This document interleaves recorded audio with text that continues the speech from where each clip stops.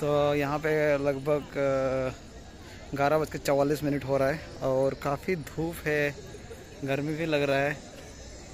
हम प्लेस ढूंढ रहे जहाँ पे पैर हाथ को धो सकते हैं, लेकिन पता नहीं कहाँ पे है वो। आगे जाके देखते हैं।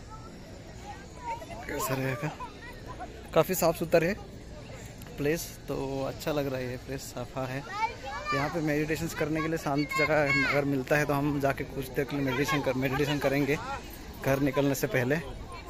चलो, देखते हैं, कहीं पे अगर ऐसा प्लेस मिलेगा तो मेडिटेशन करेंगे। तो पंद्रह मिनट के लिए या दस मिनट के लिए भी कर सकते हैं तो बहुत ठीक रहेगा। तो इतना बड़ा यहाँ पे मूर्ति बनाया गया है और यहाँ पे त्रिशूल है और यहाँ पे जो नंदी है। हम्म। और देखो, हमारा भाई पूरा सेल्फी के लिए बोल रहे हैं।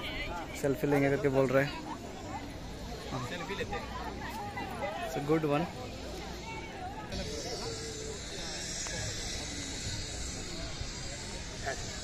फ़ोटोज़ में देखा तो मुझे तो कहीं डरावनी लग रहा था ये। कितना शार्प शार्प होगा करके। लेकिन पास आया तो ऐसा कुछ नहीं लग रहा है।